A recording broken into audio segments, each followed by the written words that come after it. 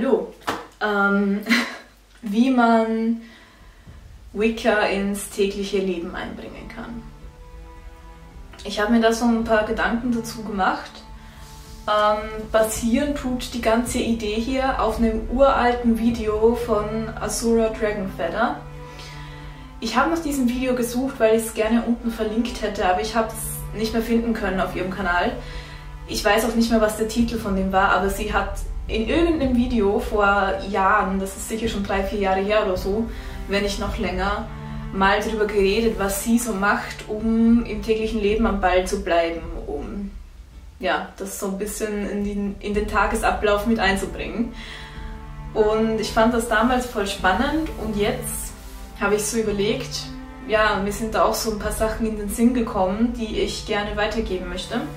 Ganz einfache Dinge, ähm, aber vielleicht denkt man einfach, oder beziehungsweise man denkt halt oft einfach nicht dran. Also vielleicht kann ich jemanden von euch inspirieren, das würde mich sehr freuen natürlich. Schreibt da auch eure Tipps unten in die Kommentare. Ich finde das immer super, wenn, wenn die Kommentare dann so ein großes, eine große Sammlung an Wissen werden.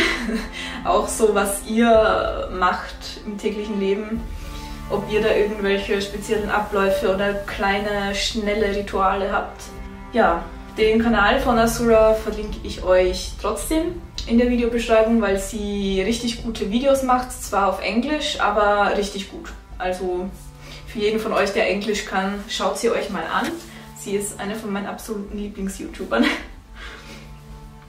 So, das erste, was ich mir aufgeschrieben habe, ist täglich eine Karte ziehen, beziehungsweise regelmäßig. Ich mache das nicht wirklich täglich. Ich habe das, also manchmal habe ich so Phasen, da mache ich es wirklich täglich. Dann mache ich es mir wieder eine Zeit lang nicht und dann mache ich es wieder so drei, viermal oder auch nur zwei, dreimal die Woche. Ähm, damit meine ich halt einfach so Tarotkarten oder Orakelkarten, dass man einfach jeden Tag mal so am Morgen oder am Abend hergeht die so ein bisschen mischt und sich dann eine für den Tag zieht. Ja. Das ist übrigens auch eine super Methode, um die Karten ein bisschen besser kennenzulernen. Man kann das bei Tarot auch machen, wenn man sich jetzt, ähm, wenn man das ein bisschen mehr lernen möchte, also die Karten kennenlernen und dann jeden Tag so eine Karte zieht und sich zu der vielleicht auch kurz was durchliest oder einfach ein bisschen über diese Karte nachdenkt, dann lernt man so recht gut mit den Karten umzugehen. Also man lernt das ein bisschen besser kennen. Also hat viele Vorteile, wenn man das macht und es beansprucht nicht wirklich viel Zeit. Kann man halt auch mit Orakelkarten machen, mache ich auch manchmal mit Orakelkarten. Das nächste, was ich aufgeschrieben habe, sind tägliche Chants, Gebete, Sprüche, Aufsagen, wie man es halt nennen möchte. Ähm, ich sage eigentlich meistens Gebete, also ähnlich wie die Gebete, die man aus dem Christentum kennt, nur halt mit einem anderen Inhalt. Ich merke, das tut mir sehr gut, wenn ich das jeden Tag einmal mache, so meistens morgens. Ähm, dass ich mich am, bevor ich halt aus dem Haus gehe oder gleich nach dem Aufwachen auch, dass ich mich mal kurz vor meinen Altar setze und entweder im Stillen oder laut irgendwas aufsage oder mir halt denke, irgend so einen kurzen Spruch. Ja, ich kann es weiterempfehlen, wenn ihr da Lust drauf habt oder das zumindest mal auszuprobieren.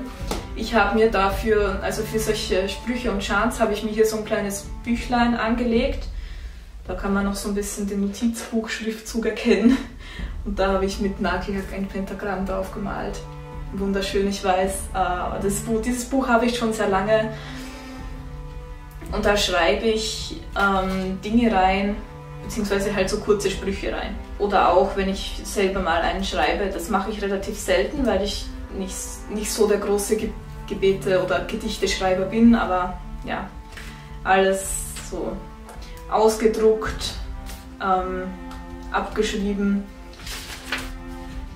Ja, verschiedene Dinge so. Was mir im Laufe der Zeit begegnet ist an Gebeten im Internet, habe ich mir alles hier rein, äh, reingetan, reingeschrieben. Und ja, finde ich sehr angenehm, da Morgen ein bisschen durchblättern und sich was raussuchen, was einen gerade anspricht und das dann einfach so aufsagen.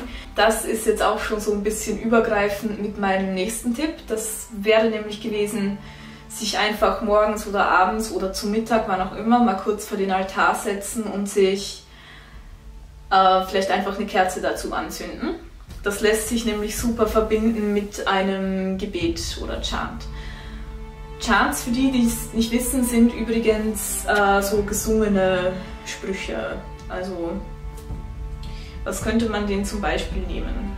Ja, ich schreibe euch hier mal so ein paar Beispiele für Chants auf. Ihr könnt danach ähm, auf YouTube suchen hier und euch die anhören. Ich finde es sehr angenehm, auch manchmal sowas so ein bisschen singen, egal ob man jetzt singen kann oder nicht. Es hört einen normalerweise eh keiner zu.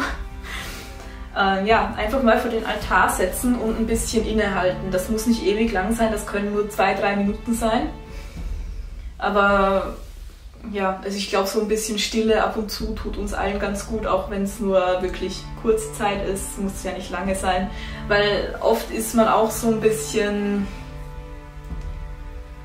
übermotiviert, würde ich jetzt mal sagen, und nimmt sich so große Dinge vor, wie zum Beispiel, keine Ahnung, mal eine halbe Stunde meditieren, was für viele sehr lange sein kann, und dann macht man es nicht, weil es halt so eine große Aufgabe für einen ist. Und da finde ich es einfach besser, sich das, das ein bisschen kleiner zu halten, so dass man es halt wirklich regelmäßig machen kann. Das letzte, was ich aufgeschrieben habe, ist was ganz Einfaches, und zwar ein Buch zu äh, Wicca lesen oder Magie oder irgendwas so in die Richtung, was einen, wo man das Gefühl hat, das könnte einen weiterbringen. Weil wenn ich lange nichts gemacht habe, dann habe ich so das Gefühl, wenn ich wieder anfange, irgend so ein Buch in diese Richtung zu lesen, dann ja, es fühlt sich einfach so gut an. Das fällt mir schwer, irgendwie in Worte zu fassen. ja, jedenfalls Bücher finde ich sind ein, ein, super Weg, um das ins tägliche Leben zu integrieren, weil Bücher lesen kann man überall, dazu muss man nicht zu Hause sein. Ich lese oft beim Busfahren, wenn ich äh, nachmittags von der Arbeit oder abends von der ha Arbeit nach Hause fahre ähm, oder morgens auch manchmal, wenn ich Lust drauf habe. Man kann rausgehen lesen, man kann überall lesen und ja, ich werde euch jetzt auch einen Link in die Infobox setzen zu Buchempfehlungen von mir. Das sind jetzt allerdings nur Buchempfehlungen für Anfänger. Ich möchte auch mal eine Liste machen mit mehr fortgeschrittenen Büchern, aber da bin ich bis jetzt noch nicht dazu gekommen. Ähm, die Liste liegt auf meinem Google Drive Ordner. Ähm, den Link dazu gebe ich auch ganz gerne mal her, wenn mich ähm, Anfänger fragen nach Buchtipps, dann ja, einigen von euch habe ich den Link auch sicher schon zugeschickt, diejenigen, die mich mal angeschrieben haben. Und den setze ich jetzt nochmal in die Infobox für diejenigen, die es noch nicht kennen und die vielleicht ein paar Buchtipps, Buchtipps so ähm, von mir hören möchten.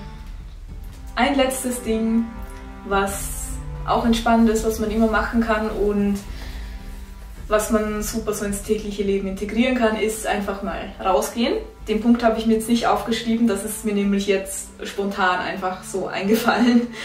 Ähm, einfach mal rausgehen in die Natur, in den Wald, Waldrand, wo auch immer und sich hinsetzen. Und einfach mal hören, sehen, vielleicht die Augen zumachen und einfach ein bisschen da innehalten, still sein das finde ich auch einen sehr schönen Weg, Weg, um sich einerseits zu entspannen und andererseits.